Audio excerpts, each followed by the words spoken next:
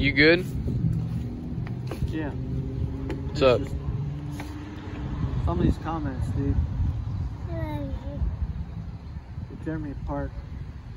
I see all these different comments in reference to something that we have on on the Jeep. What's on the Jeep?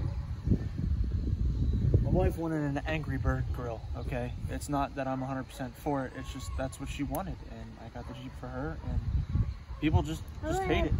They just, they don't like it. Like, okay, honestly, like, some of the, hang on, let me, let me some this. I'm just gonna read some of these. I mean, it's, that grill looks like shit. Sorry, I'm not insulting you. I just I just hate those grills. At least he was somewhat nice about it. This guy says angry grill with the puking emoji. It is what it is. You know, Frank Dyer says he's not a fan. I don't care who Frank Dyer is, but it, you know. Stephen Barrett says almost as tacky as Chrome on a Jeep, which I can agree with. It just Chrome's nasty on a Jeep. Just uh, angry grill is not terrible. Graham Smith says the most iconic thing on a Jeep is the grill, but let's replace it with the monstrosity.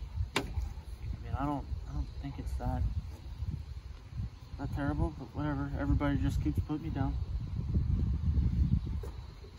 Chris Bridges said doesn't make them attractive. Rosie O'Donnell is famous. Don't make her hot.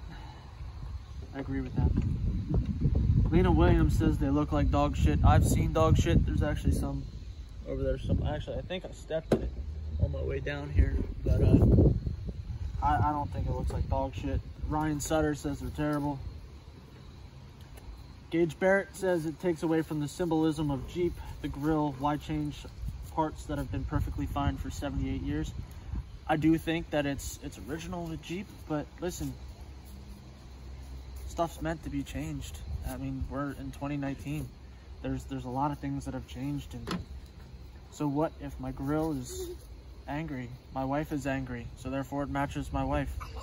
I mean, honestly, if you guys really want to know the reason why it's on there. Russell Reed says, I think they're hideous. I don't have one. Well, congrats, Russell.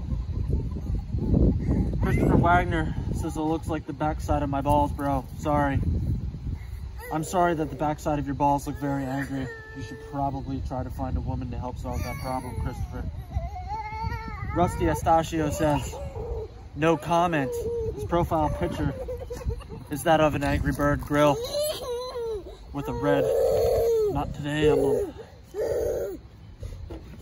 Somebody said that my ride-on mower has a better front end. I will say she's a fine piece of machinery right here, and she does look pretty good, but not as good as the Jeep.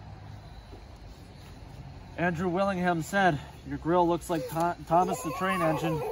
His dad's face when his wife stuck his thumb up his exhaust without permission.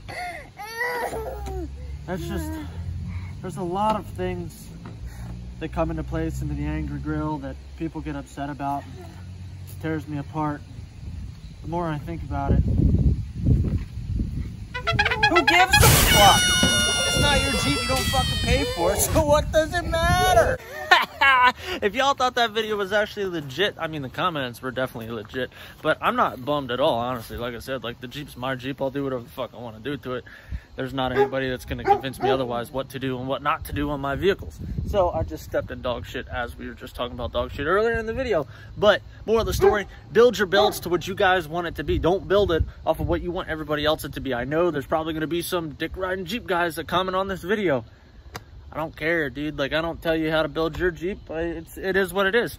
At the end of the day, you pay for your vehicle. You do what you want to your vehicle. Fuck what people say. I'm a... Mm, I'm not allowed to say what I want to say to this dog over the video, but we'll hold off on that one. So if you guys like this content, make sure you smash the thumbs up button, build what you want to build, and I will catch you guys in the next one.